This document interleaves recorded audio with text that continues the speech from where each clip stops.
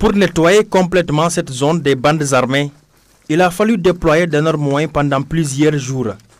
Les opérations de sécurisation de l'armée sénégalaise dans cette zone, jadis inaccessible depuis plusieurs décennies à cause de la situation d'instabilité, ont été menées avec professionnalisme par les soldats.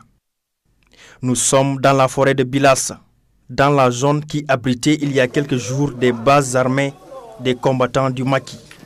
Il s'agit entre autres de la base rebelle de Badiong, située dans la commune de Boutoupa Kamarakunda, exuxtant la frontière avec la Guinée-Bissau. Le décor sur place est surprenant.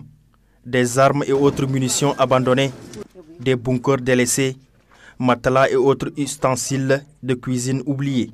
Des images qui renseignent de l'exil forcé des derniers occupants. À quelques encablures, c'est plus d'une dizaine de vastes champs de chanvre indien qui s'imposent. Une excellente récolte de la détermination de l'armée. On a trouvé ici, bon, il y a eu quand même une petite résistance par rapport aux individus armés. Et après, ils ont cédé le terrain.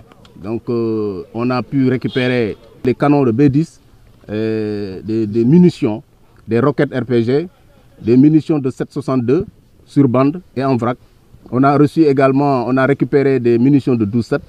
On a récupéré des armes comme un M203 lance-grenade.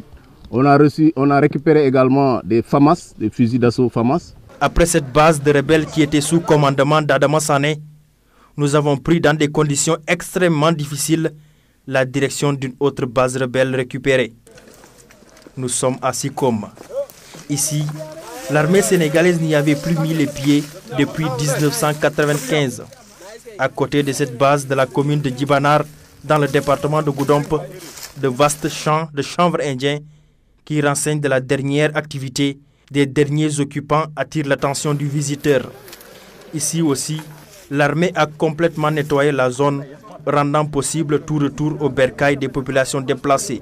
Aujourd'hui, l'armée sénégalaise a mis pied sur toutes ces bases. Nous avons d'abord commencé par la base, la position de, de Bouman. Ensuite, 48 heures après, nous avons conquis la position de Boussouloum, qui est un peu plus à l'ouest.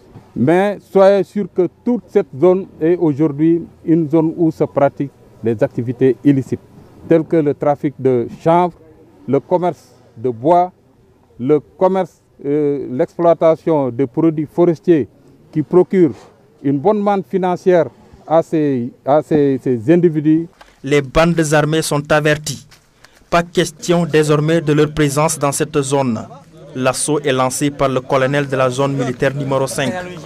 Il y a des lignes rouges qui sont désormais tracées et sur lesquelles on ne voudrait pas que désormais, en tout cas, qu'un quelconque groupe armé ou bande armée euh, vienne les franchir. C'est une exaction sur population sera, sera tout de suite interprétée par nous comme une déclaration de guerre. Et sur ça, nous sommes intransigeants. Il n'est plus question qu'on accepte qu'on touche à un chevaux des populations. Nous sommes à Badjan. Aujourd'hui, grâce à l'efficacité, à la rigueur, mais aussi à la disponibilité de l'armée sénégalaise, cette base a été récupérée.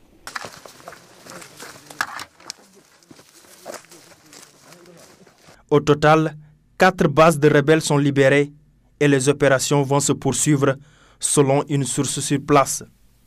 Ce sont les bases rebelles de Sikoun, Bouman Bilas, Bousouloum et Bajong. Fini la terreur dans cette zone, peut-on prétendre, car l'armée s'y est déjà installée et compte veiller au grain pour accompagner le retour des populations déplacées.